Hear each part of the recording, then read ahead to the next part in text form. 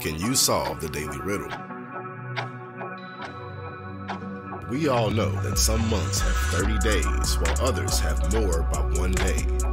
Do you know how many of these months only have 28 days? Time's ticking. 12. Every month has 28 days. If you enjoyed the content, don't forget to like, share, and subscribe to the Press Play channel.